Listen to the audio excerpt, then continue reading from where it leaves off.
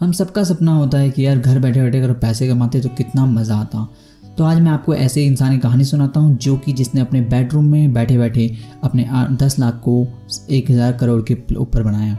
वो भी सिर्फ़ आठ सालों में। तो आज वीडियो में हम देखेंगे मिलियनर ट्रेडर तकेशी कोतेगावा की कहानी और उनके ट्रेडिंग सिस्टम को।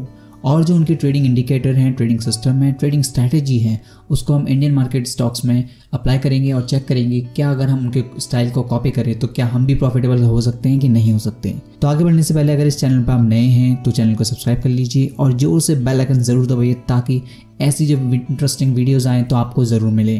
तो तकेशी कोतेगावा हैं कौन और इनका बैकग्राउंड क्या है? तकेशी गुतेगावा जापान के इचिकावा में इनका जन्म हुआ था 5 मार्च 1978 को। 2001 में इन्होंने स्टॉक में ट्रेड करना स्टार्ट किया, तब बियर मार्केट चल रही थी और स्टार्टिंग में इनको थोड़ा बहुत प्रॉफिट हुआ, थोड़ा लॉस हुआ, फिर लॉस से सीखते सीखते सीखते थोड़ा बहुत प्रॉफिट होने लगा। पर इनका टर्निंग पॉइंट तब आया जब 2005 में उन्होंने ट्रेड लिया, जिसमें उन्होंने मिलियंस कमाए। वो ट्रेड था जेकॉम होल्डिंग का। जेकॉम होल्डिंग का आईपीओ तब रिसेंटली आया था। मिजो सिक्योरिटीज़ की कंपनी ने एक ट्रेडर ने गलती से उनको ट्रेड कर, उनको सेल करना था छः लाख दस हज़ार का येन पर एक शेयर उनको सेल करना था और उन्होंने गलती से कर दिया छः लाख दस हज़ार के शेयर्स को सेल कर दिया। तो इसकी वजह से क्या हुआ? स्टॉक प्राइस जो है क्रैश होने लगा क्योंकि इतनी हैवी सेलिंग हुई थी। तो सक्सेसफुल लोग हमेशा यही करते हैं कि जब भी उन्हें मौका मिलता है तो वो उसमें चौका मारना जानते हैं। तो इतने बड़े ऑर्डर की वजह से जो स्टॉक क्रैश हुआ, उस पर तकेशी कोतेगावा ने अपॉर्चुनिटी का फ़ायदा उठाया और लो प्राइस पे सात हज़ार एक सौ शेयर जो है खरीद लिए। और जब प्राइस वापस नॉर्मल पोजीशन पे आया अपने तो प्राइस बढ़ा और तकेशी को उस ट्रेड से अकेले ट्रेड में 17 मिलियन डॉलर कमाए उन्होंने। अब आते हैं उनके सबसे इंपॉर्टेंट पॉइंट वो है उनका ट्रेडिंग स्ट्रेटेजीज उनकी ट्रेडिंग स्ट्रेटेजीज सिंपल है, बहुत सिंपल है।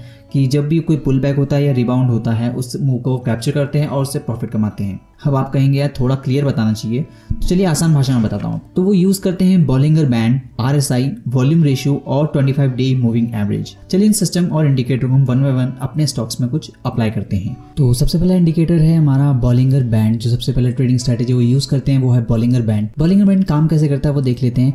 इसमें बीच में एक मूविंग एवरेज होती है और उसके अराउंड में अपर बैंड और लोअर बैंड बनता है। तो हमारा ट्रेडिंग सेटअप जो है वो तब बनता है जैसे ये लोअर बैंड से टच होके प्राइस जो है वो जनरली बाउंस बैक करता है। जब वो ऊपर को जाने लगे, तब आप उसको बाय कर सकते हैं। या फिर जब अपर बैंड से जो टच होके नीचे को आए, तब आप उसमें सेलिंग कर सकते हैं। तो अरविंद फार्मा हम चेक कर लेते कि एक बार क्या ये काम कर रहा है कि नहीं कर रहा। तो देखिए, जैसे अगर मैं ये वाला पॉइंट कंसिडर करता हूँ तो ये वाला पॉइंट में आप अगर देखेंगे तो यहाँ पर बाय बन सकता है। लेकिन आपको इसको सेल कहाँ करना पड़ेगा? मीन में करना पड़ेगा। ऐसे आपको एक ट्रेडिंग सिग्नल जो है वो एक बार पीछे देख लेते हैं। तो ये देखिए, यहाँ पे आपका ये वाला एरिया जो है वो सेलिंग का बनता है, ये वाला बाइंग का बनता है। देखिए, यहाँ पे भी अभी कोई वैसे बन नहीं रहा बट हाँ आप चाहे तो छोटे मोटे ट्रेड ले सकते हैं, ये एक घंटे का है। अगर आप उसको इंटरडे में ट्राई कर सकते हैं, वो भी कर सकते हैं। कोई भी ट्रेड लेने से पहले एक बार ज़रूर चेक कर लें कि बैक टेस्टिंग करके देख लें कि पास्ट में अगर इसने जब बॉलिंगर बैंड को ब्रेक किया या फिर इसने बॉलिंगर बैंड में जो ट्रेडिंग सिग्नल दिया, क्या उसे फॉलो किया या नहीं किया? और विंडो को ध्यान से देखें तो इसमें हम एक दो चीज़ें और लगा सकते हैं। जैसे कि हम अगर इसमें इंटरडे कर रहे तो एडीएक्स लगा सकते हैं, ताकि पता लगे ट्रेंड कैसा है।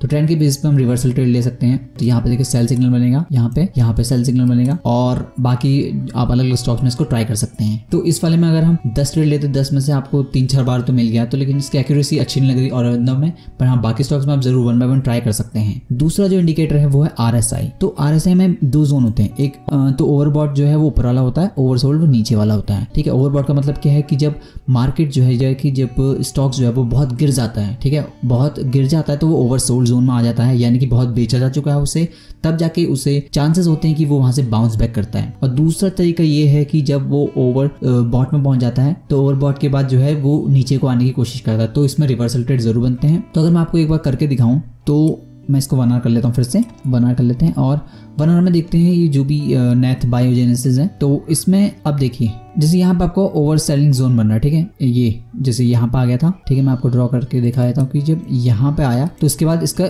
बाउंस बैक बनता था, ठीक है? लेकिन ये वाला मूव हो सकता कैप्चर ना हो, लेकिन जैसे ओवरसोल्ड के पास आ जाए तो उसके बाद आप सेलिंग कर सकते हैं। देखिए फिर उसके बाद स्टॉक नीचे भी आया है। इसी तरह से अगर आप बैक टेस्ट करेंगे तो आपको पता लगेगा कि ओवरसोल्ड में क्या काम कर रहा है कि नहीं कर रहा। लेकिन एक बात ज़रूर ध्यान रखिएगा कि जो ओवरसोल्ड में काफ़ी देर तक रह सकता है स्टॉक तो इसलिए जब वो नीचे को आने लगे या फिर ओवरसोल्ड से ऊपर की तरफ़ जाने लगे ओवरबॉट से नीचे की तरफ़ आने लगे तभी आप ट्रेड लें, तभी आपको उसमें प्रॉफिट हो सकता है। अगला इंडिकेटर है, वो है हमारा वॉल्यूम तो सिर्फ़ वॉल्यूम को देखे क्या हम ट्रेड कर सकते हैं या नहीं कर सकते?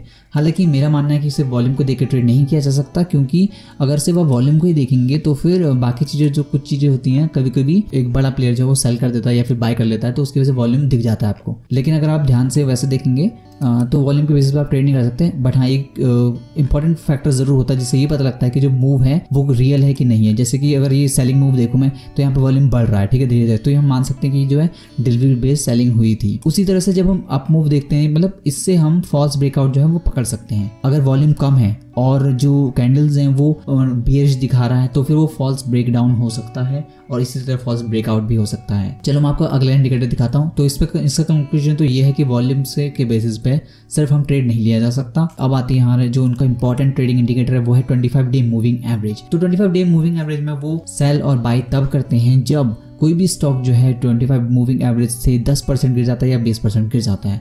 तो यहाँ पर अगर मैं सिर्फ़ आपको moving twenty five day moving average मैंने लगा रखा विप्रो में तो वन आर के चार्ट में अगर दिखाऊँ तो देखो इंडिकेटर आपका कहाँ कहाँ क्रॉस ओवर दिख रहा है आपको। देखो, यहाँ पे एक एक बाई सिग्नल बनता है ठीक है यहाँ पे इसने पुल बैक लिया है वापस तो और यहाँ पे आपका सेल सिग्नल बन जाता है वापस नीचे आ गया। इसी तरह से अगर मैं देखूँ तो यहाँ पे जब इसने क्रॉस ओवर लिया तब यहाँ सेल बनता है यहाँ सेल बनता है और इसी तरह से यहाँ पे भी सेल बनता है। अब जैसे गैप अप गैप डाउन तो हम कुछ कर नहीं सकते बट अगर आप इसको बैक टेस्ट करके देखेंगे तो आप पाएँगे कि काफ़ी टाइम पे काफ़ी जगह पे अगर आपने ऐसे पॉइंट्स पकड़े होते तो हाँ आप प्रॉफिटेबल ओवरऑल हो सकते थे। लेकिन तकिशी कोतेगावा कभी भी आ, सिर्फ़ एक इंडिकेटर यूज़ नहीं करते वो इनका कॉम्बिनेशन यूज़ करते हैं यानी कि 25 डे मूविंग एवरेज लिया प्लस आप इसमें वॉल्यूम भी ऐड करते हैं बॉलिंगर बैंड भी ऐड करते हैं और आप इसमें यूज़ करते हैं आरएसआई भी।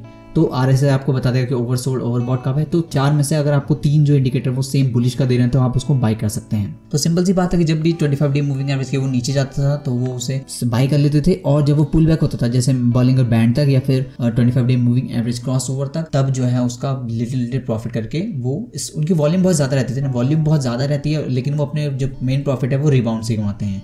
उनका मानना है कि बियर मार्केट में ज़्यादा पैसा बनता है, क्योंकि आपने सुना होगा कि बुल्स जो है वो सीढ़ियाँ चढ़ते हैं, लेकिन बियर जो है वो खिड़की से ही कूद जाते हैं। तो ऐसी ट्रेडिंग स्टोरी और मिलियन ट्रेडर की ट्रेडिंग सिस्टम को जानने के लिए सब्सक्राइब कीजिए चैनल को, और ये वीडियो आपको कैसा लगा आप ज़रूर बताइए।